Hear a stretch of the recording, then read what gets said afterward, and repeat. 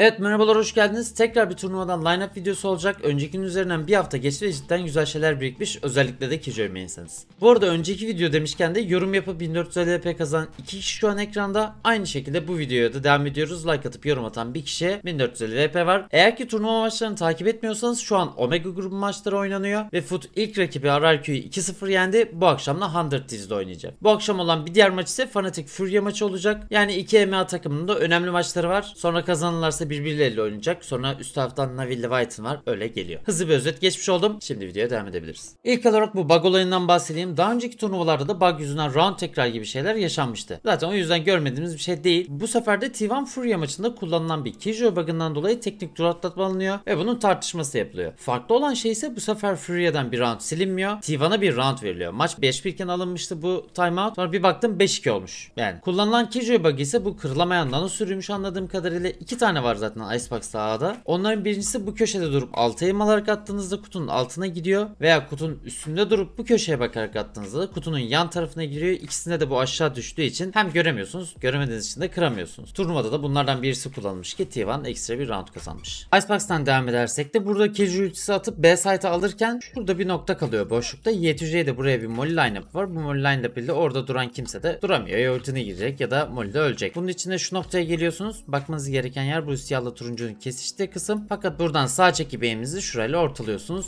Sonrasında bu molly'yi attığınız zaman bu da tam olarak bu köşede duracak. Artık herhangi biri bu köşede bekleyemeyecek. Zaten siz bu B main'de ulti attığınız zaman göstereyim nerenin kaldığını. Sadece şu nokta kalıyor. Be B'yi boşaltmak zorunda Fenerbahçe. Evet burada sarmal bomba da geliyor. Yine Icebox'ın saldırısında Jesse Vash'ın attığı şöyle güzel bir ok var. Bu kutunun üzerine geldiğiniz zaman drone işaretinizi şuradaki yere denk getireceğiz. Şu çizginin altına denk getireceğiz. Şöyle yakınlaştırırım ben zaten. Ortasını denk getirdikten sonra okunuzu çıkarıyorsunuz. Bir bar doldurup attığınızda da bu tam olarak buranın ucunda duracak. Tam olarak köşesinde size bayağı bir görüş verecek. Hem buradan pikleyen hatta buradan rotate atan varsa bunun ucu bile gözüktüğü için onu da görebilirsiniz. Bugün görmüştük onlardan biraz daha hızlı Jesse'nin oynuyorlardı. silah olayını ne yapacağız bilmiyorum ama. Şu an Gelelim Lutz'a. Foot RQ maçında son roundda Spike bu noktada kuruluyken Moju burada görüyoruz. A harabe kısmında çünkü buradan bir lineup var yine Killjoy'la. Bu lineup'ta çok kolay yapmanız gereken buradaki ortalı kısma geldiğinizde C'yi elinize aldınız. C skinizi sağındaki çizgiyi şuraya getiriyorsunuz. Şu şekilde yani. Ben yakınlaştırıp göstereceğim. Sonrasında zıplayıp attığınız zaman da bu bütün yolu gidip üstten girip şu noktaya düşecek. Açtığınız zaman da bu noktada Spike'ı hiçbir şekilde çözemeyecekler. Zaten bu rounddan sonra da Lotus haritasını Foot rahat bir şekilde alıyor. Bayağı uzakta bir oyuncumuz var. Mojun artık hareketlenmesi lazım diyecek mi? Line up, line up, line up. geliyor. Evet bir line-up'ımız var o bölgeye doğru. Yarıya kadar almayı başaracak mı Lemimor? Alamadı. Onu Ace engellemeyi başardık ve şimdi Moş hareketleniyor. Lemimor'u da yakalıyor Mr. Fallen ve Moş haritayı bitiriyor. Foot Esports 13-3 ile rakibin haritasını kazanıyor. Sao Paulo'da harika bir başlangıç. Yine aynı maçtan Lotus'ta Krax'ın iki tane çok güzel flash var. Birisi bu tepe kısmını almak için saldırıda kullandı. Diğeri yine aynı tepe kısmını almak için bu sefer savunmada kullandı. İlk flash için burada bariyerler, bariyerler şu civarda falan oluyor. Hayır şurada oluyor pardon. Bu noktaya geçiyor. Şuraya fark ederseniz köşesi var. Bu yuvarlak düz. Yani çok zor bir şey değil aslında. Çok kolay bir şekilde ezberleyebilirsiniz. Flash'ı atıyorsunuz. Hop burada patlıyor direkt. Buradan piklenen herkes kör.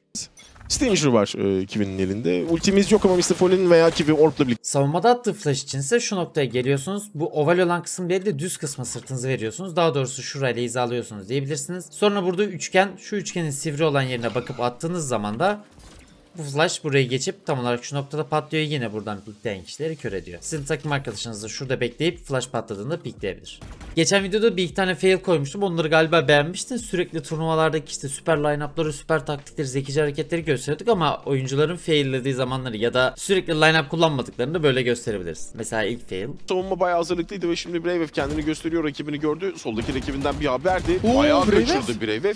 Normalde bunları görmeye çok alışık değiliz ve cezalandırıldı Brave. O kadar net vuruşlar kaçırdı ki Brave.